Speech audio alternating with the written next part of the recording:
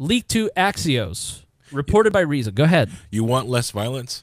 Let people talk. Exactly right. Empathy builds a peaceful world. And so, Sen- uh, uh, Elizabeth Nolan Brown on July 31st. Um, so, was this before? This was before the Alex Jones stuff came out. Uh, Senate Democrats are circulating plans for government takeover of the internet, Reason Roundup writes. A leaked memo circulating among Senate, Senate Democrats contains a host of bonkers authoritarian proposals for regulating digital platforms, purpor- purportedly as a way to get tough on Russian bots and fake news, to save American trust in our institutions, democracy, free press, and markets. So, when Democrat Senator Mark Warner writes to save trust in our institutions, meaning the government, our mm-hmm. democracy, meaning our politicians, our free press, meaning the New York Times, and our markets, meaning our big banks that pay us a lot of money to protect their ass. That's what he means. He does not mean you and me. Right. He means protect them. And that is what oligarchs do. They build a world that protects them and does not protect you. So if you want to make the property rights argument to protect people like Mark Warner, I, I don't have much to say to you because this is what you end up with. You are not fighting back against a pretext to build a structure that will regulate you. Mm-hmm. And when our page and this podcast says you should speak up and say this isn't right and complain to a private company that you are a, uh, that you have an agreement with, mm-hmm. that isn't a bad thing. Yep. That's called using the free market and using your voice to give feedback to a company on what you want, what product, and how it should be shaped you'd mm-hmm. like. But when you don't, you continue the pretense that will usher in regulation. I'm not advocating for regulation. I'm advocating against regulation because regulation doesn't start in a vacuum. It doesn't just show up. You have to build a crisis mm-hmm. to get legislation passed. And that is what has been done with the Russia investigation. They have built a crisis to regulate social media. And that is exactly what is outlined in this. They're trying to enact their own GDPR like data protection legislation titled potentially potential policy proposals for regulation of social media and technology firms, the draft paper said. Um, leaked to Axios, which is a very reliable site. The paper starts out by noting that Russians have long spread disinformation, including when the Soviets tend to spread fake news, denigrating Martin Luther King Jr. He fails to mention that uh, the Americans and the FBI did the same thing at, this, at that time, but it's different now because of technology. Today's tools seem almost built for Russian disinformation techniques. Warner opines, and the ones to come, he assures, will be even worse. The next, it, it is terrible, it is awful, and I am here to protect you from what is absolutely going to be worse.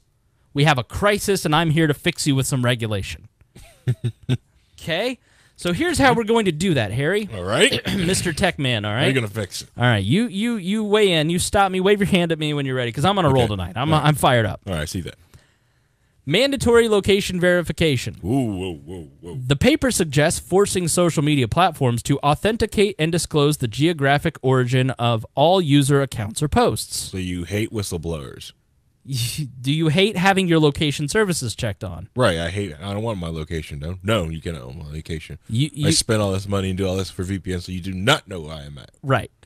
Uh, imagine having your having to have forcibly have on your location on every Instagram post. If you're a woman who likes to post bikini photos, you got to make sure that your address is posted to that bikini photo now. Exactly, and uh, like, and now you're gonna get ad service to you because of the geolocation that you. That's exactly right. There's the, Now, yeah, we service you ads. there are there are apps on your phone right now that track your every if you have location services on for that for that fun game that game where you you know play two dots or mm-hmm. if you play kingdom rush which is my personal favorite and you go why are you asking for location services Yeah. it's because they take that geolocated data and they sell it to advertisers mm-hmm. and then resell you, reserve you ads.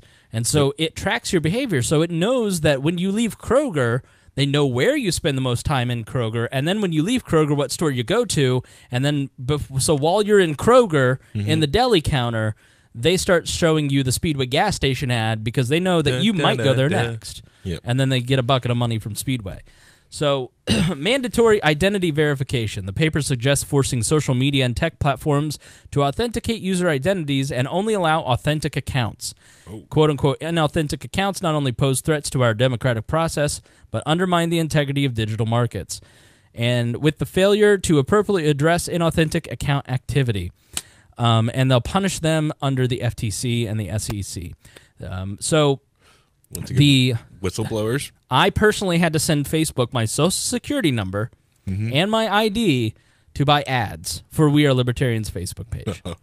If that. Every user will have to do that. That is their solution. That's what you will have to do. You will have to send Facebook your social security number. Hope you're hope you're secure in that because that's what's coming. I've got five. I'll give them one. Bot labeling. First, off, oh, but the the, the, I like to verify the identification thing. Um, all right, so then you've got one sex workers, right? name. Um, people who are hiding from an abusive ex. Um, Ooh, blue light. Um, You are absolutely not allowed to use a fake name in certain countries like Cambodia where they have a dictator. The way that they root out the um, the dissidents is they check to see who's using a fake name and then they go hunt those people down Correct. using the IP address. correct. Dissidents. It's not you know it's not unheard of the United States government to go after dissidents. It's Right. not unheard of. Um, the other Didn't Reality Winner get all kinds of prison time for basically doing what Cambridge Analytica did? yeah yeah yeah. No, I forget what it was, but there was something that one of these companies just did, and basically like Reality Winner did the same thing, but she got prison time. Right, it's other thing, but it's other, but uh, companies are doing this all the time. You know, like, you know, like all those stupid, t- you know. Anyway, I don't want to get into that. but the whole like ID blocking thing is like, but anonymity or pseudo anonymity, be able to talk to someone that you don't know just to be text on the screen, is the bill ha- probably has ki- has stopped a lot of racists, people who are sexist, because you can have these conversation with these people and understand that you know, and they're just be, they're just text on the screen, Right. and then you're like, you know what, you're really awesome, you know, like who are you to like, oh my god, I've been talking to a black person this entire time, Right. yeah, yeah, you have. I I thought you only thought wrong. No, We're not all like that. Da, Right. da. We are different. We are individuals. So that stops that. You know, now someone would be like, well, I just you know I can easily block every black person now. Thank you, thank you, Facebook. I personally found it hilarious when comf- comfortably smug on Twitter, who loves to make fun of libertarians, mm-hmm. was bitching about the Alex Jones stuff and bitching about Facebook privacy, and I'm just like, bruh, you got a fake name on Twitter. Like, I, I'm not a huge fan of like talking politics under a fake name on Twitter. I know you, you like our Discord is is fairly anonymous. Pseudo um, anonymous. Pseudonymous. I mean, you can choose to be anonymous or not, but. Um, so back to what Senator Warner wants to do: forcing companies to label accounts as bots, which I don't know how they would do that. If they discovered a bot, they'd probably just get rid of it. Define popular tech as essential facilities, basically public utilities. These would subject all sorts of heightened rules and controls, says the paper, offering Google Maps as an example of the kind of apps or platforms that might count. So if you think they're going to start with and, and end with Facebook and Twitter and Google Plus and YouTube, they're going to go into Google Maps, so your location data. That's what the government wants. The government wants all of the data from your phone stored on their servers where they don't have to have these phony they already have it with the NSA, but they have phony baloney rules that says they can't access it. They want access to it all the time. I use a um, offline map, OSMMD. OSMND. Yeah. Okay. it's offline map, open source. You can download it. It's really nice. The law would not mandate that a dominant provider offer service for free, writes Warner. Rather, it would be required to offer it on reasonable and non discriminatory terms provided by the government. Other proposals include more disclosure requirements for online political speech, more spending to counter supposed cybersecurity threats, more funding for the FTC, a requirement that companies' algorithms be audited by the feds, so their code would now belong to government regulators, mm-hmm. and a requirement of interoperability between dominant platforms. The paper also suggests making it a rule that tech platforms above a certain size must turn over internal data and processes to independent public interest researchers so they can identify potential public health addiction effects. Anti competitive behavior, radicalization, scams, user propagated misinformation and harassment, data that could be used to inform actions by regulators or Congress. And of course, these include further revisions to Section 230 of the Communications Decency Act, recently amended by Congress to exclude protections for prostitution related content. Is is this just Prism? This sounds like Prism. No, it's not Prism because Prism is at least somewhat protected by FISA courts. What they want is China's social credit system. Oh, sorry. That's what Yeah. this is. That's what they want to. Cr- that's where mm-hmm. we're going to end up. Mm-hmm. And so in in China, this was a Black Mirror episode, I guess, but it's been in place in China forever. They have social credit systems. So every time you say something mean to somebody on the internet, you have a bad day. You're having a bad day. You say something cranky to someone on your Facebook page. I've never done that myself, but I heard it happens. And so you get a mark on your. And so eventually it gets to the point if you have bad enough social credit that you you can't rent a car, you can't access certain services, you can't.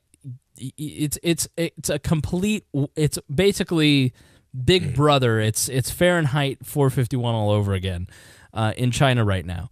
The proposals in the paper are wide ranging and in some cases even politically impossible and raise as many questions as you might try to answer. But we've got to pass it to figure out what's in it, Harry. Oh, it's just, oh, it's just delete the words. So you sent in a video that I, I want to play the first uh, couple minutes of. The EU is about to destroy the internet by a channel called Computing Forever. Oh, that one. Yeah. Okay. Harry, you're supposed to talk, and then people heard me belch. How dare you? Uh, all right, so here's here's the first couple minutes of this video. Exaggeration, though I wish it was. The EU may very well destroy the internet as we know it, and we've got less than one month to act on this. Over the past few years, independent journalists and alternative media companies have faced the ongoing threats of heavy handed government regulation of the web. This has included nebulous hate speech laws and clampdowns on what biased social media platforms subjectively determine to be fake news. Well, it's about to get a whole lot more difficult when it comes to the issue of copyright. What I'm about to discuss with you next is the biggest, most disturbing threat to free speech and the free press, and indeed creativity, the internet has ever faced. It's so bad that if this new legislation is allowed to pass, the video you're watching would be impossible for me to make. From edri.org, EU member states agree on monitoring and filtering of internet uploads. On the 25th of May, the European Council agreed to a negotiating position on the draft copyright directive.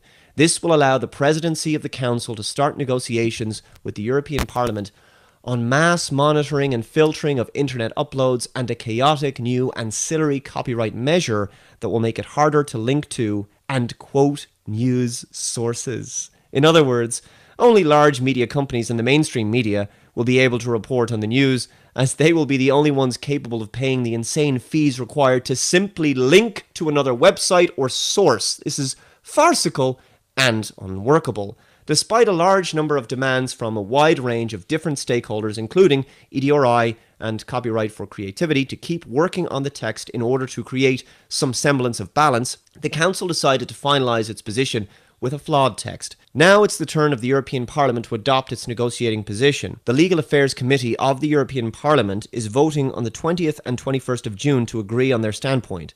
There is still time to act to prevent the most dangerous parts of the proposal.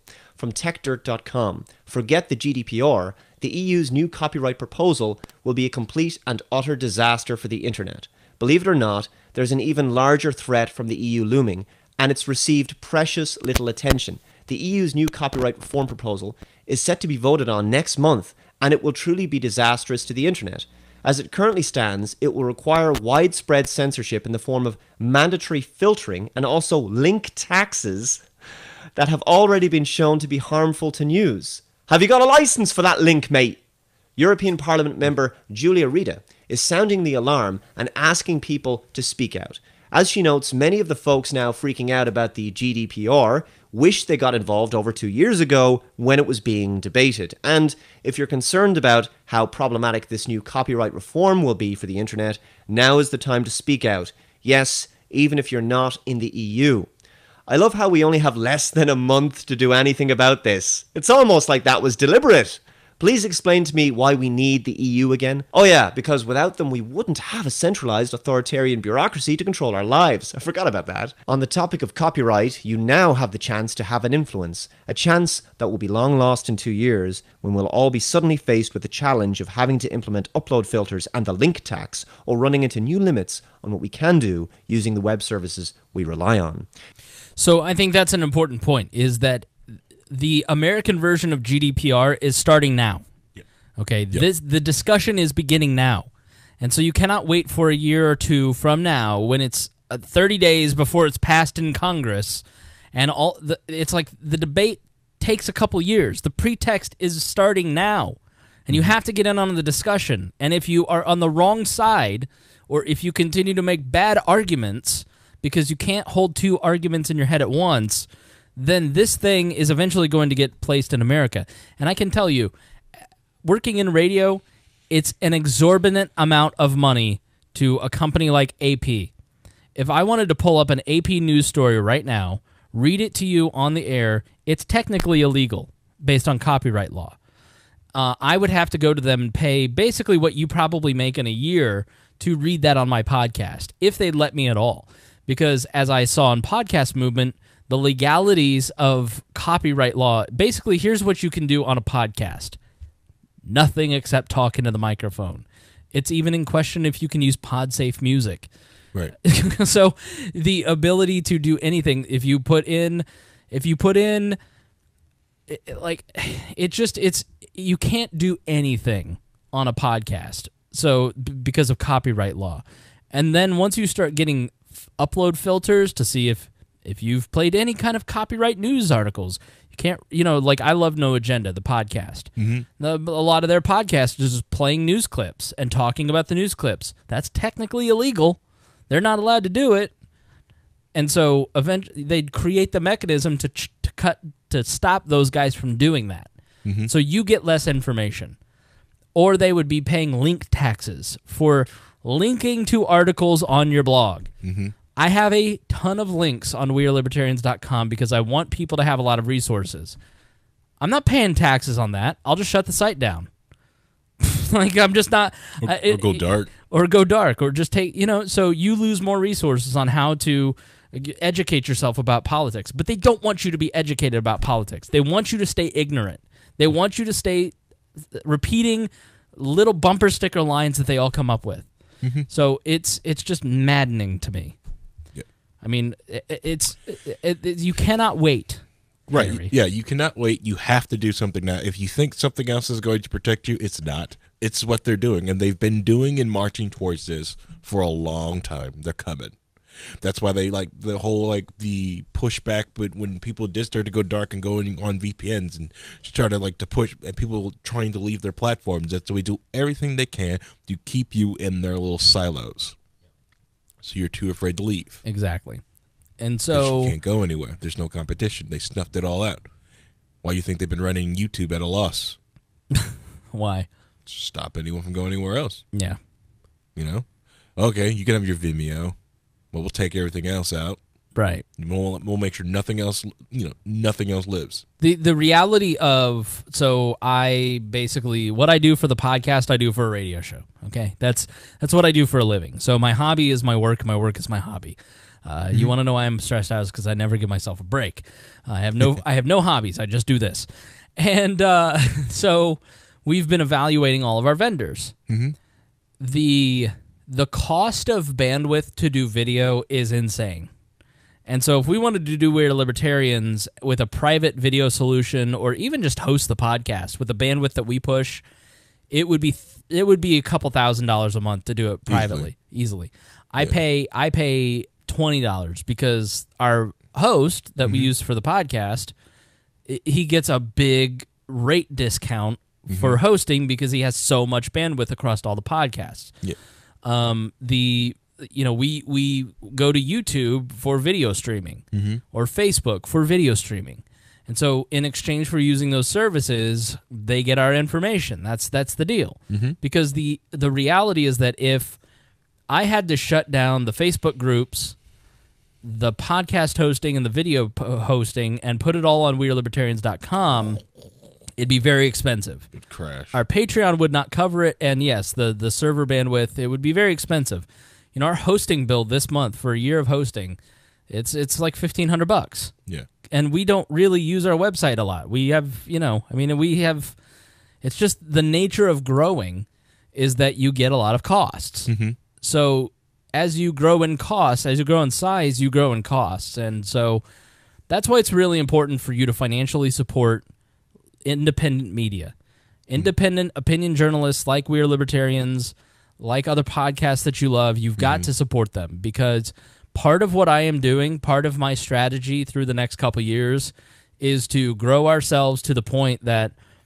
Like, listen, Alex Jones is going to be fine because Alex Jones has diversified himself in so many ways mm-hmm. that you're going to be able to find him. Yeah. But We Are Libertarians at this point, this was a wake up call for me.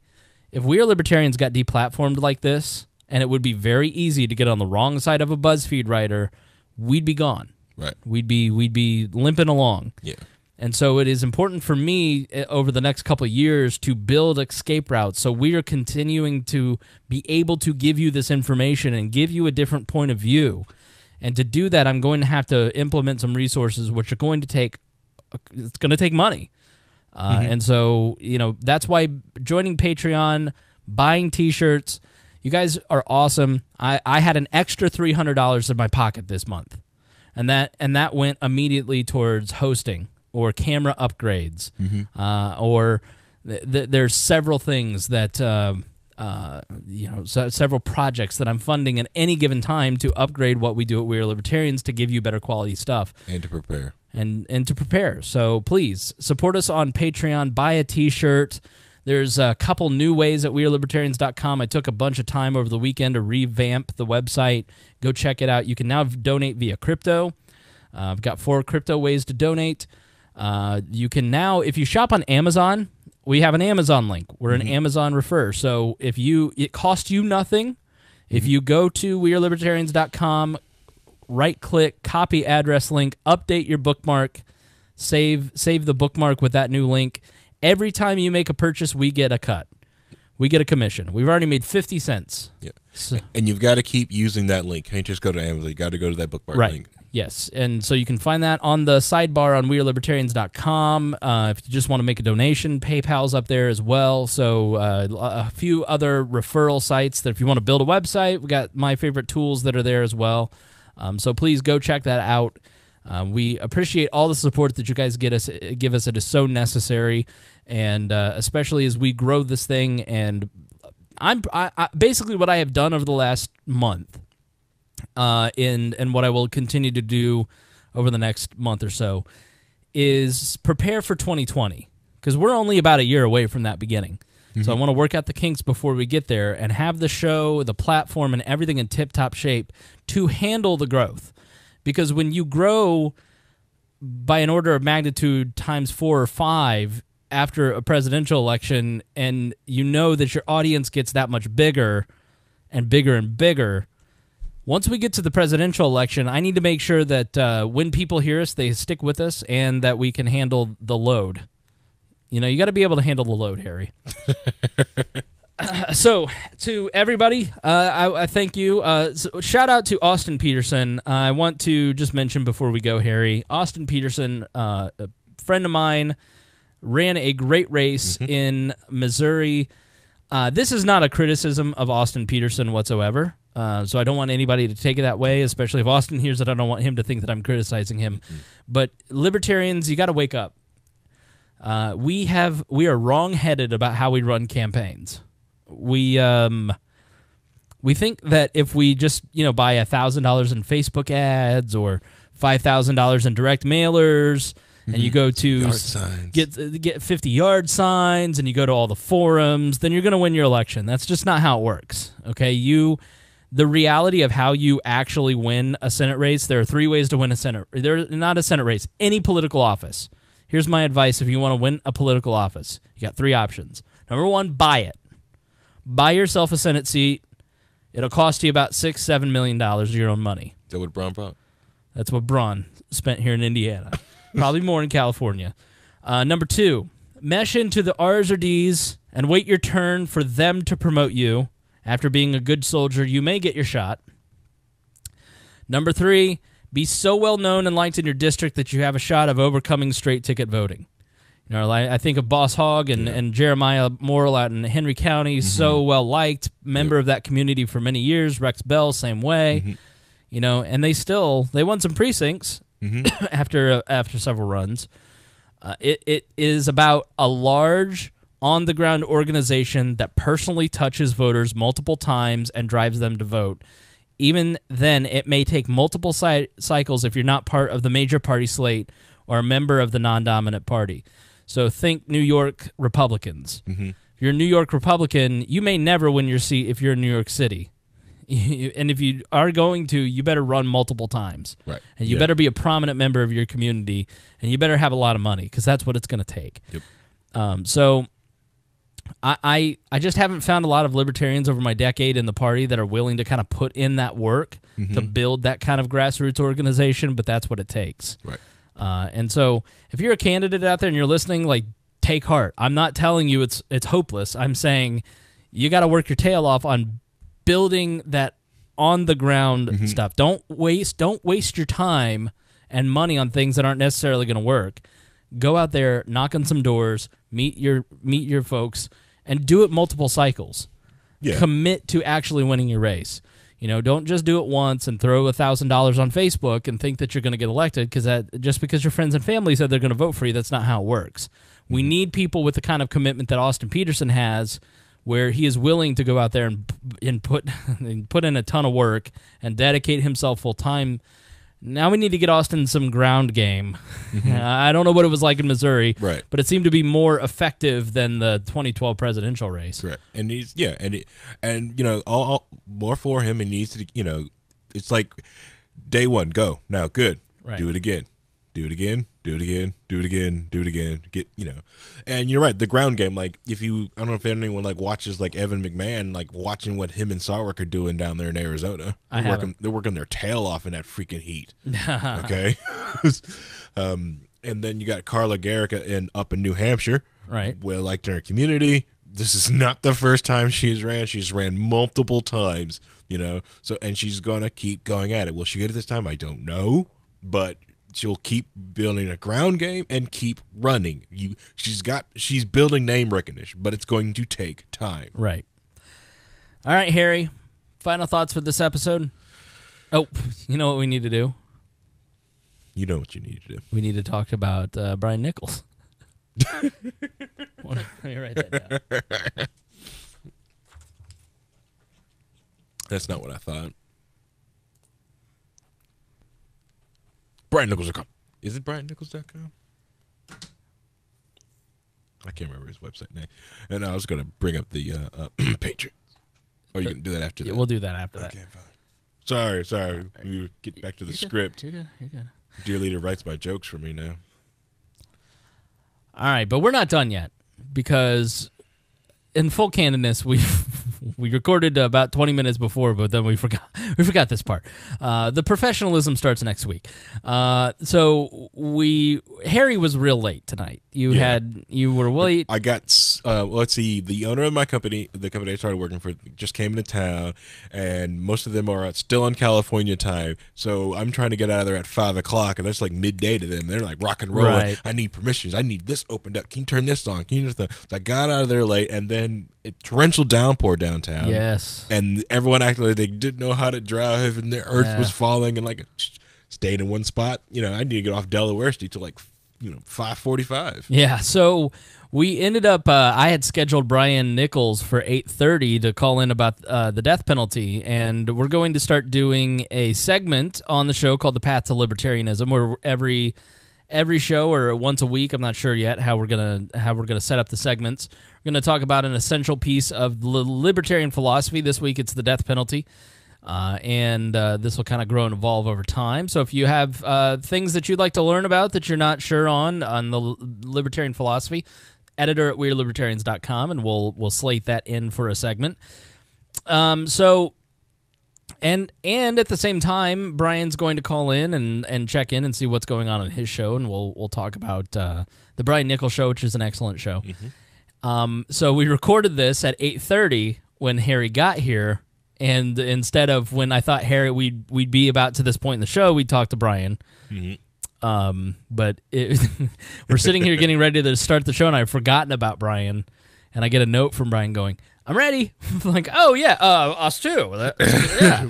Been ready. So we recorded it for the show. So I, I almost ended the show without this part, but uh, it's very interesting, and a lot of people, based on the Pope, are, are wondering about the death penalty. So here we go.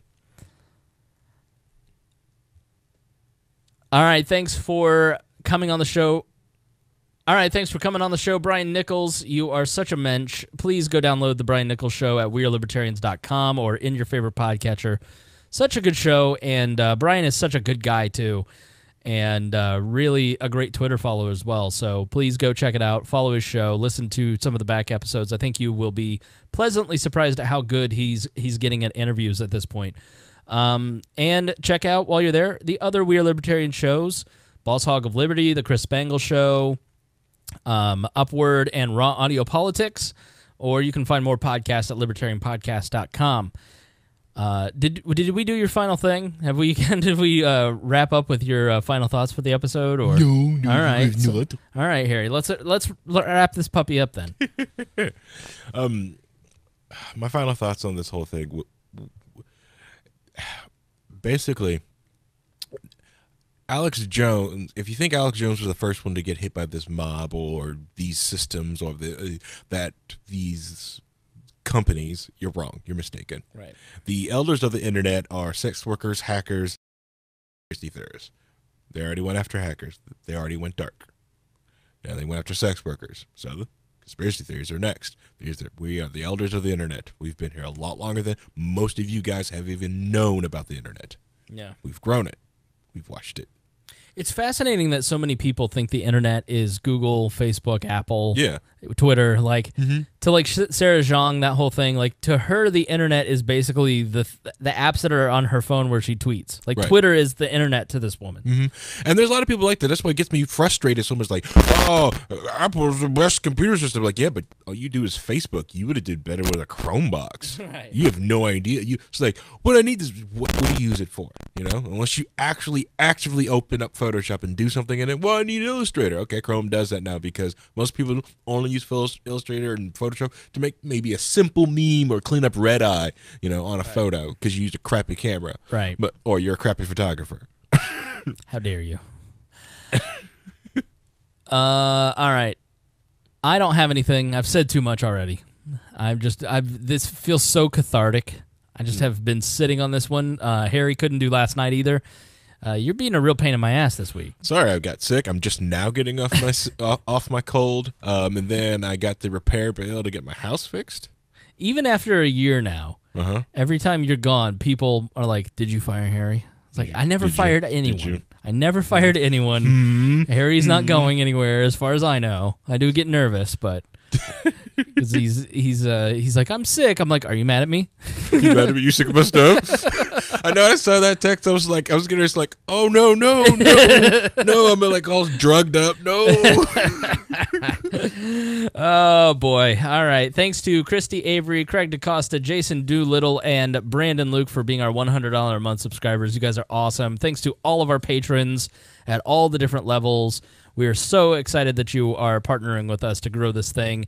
And if you're a patron, then you get to hear our bonus content. Harry and I are going to have a little chat about podcast movement and some of the podcast changes. So if that interests you, head on over to wearelibertarians.com, sign up for the Patreon, and uh, you'll get instant access to the content, even though your card is charged on the first of the month. So you get free stuff before you even have to pay for it. What kind of communist country am I running over here?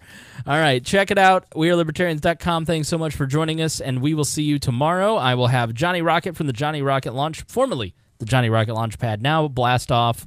Uh, his his co-host, I think her name is Ray Lynn. I don't know. And then uh, Chris Galt. And we're going to talk a little more Alex Jones, a little more about uh, building uh, his. He's got a new whole new deal going on. So we'll talk about that. We'll talk about Roger Paxton and all the bad things about him. So- So uh, thanks for joining us, and we will see you tomorrow. I'm probably gonna call it the Johnny Rocket Launchpad until the other podcast, you know, makes a real name for itself.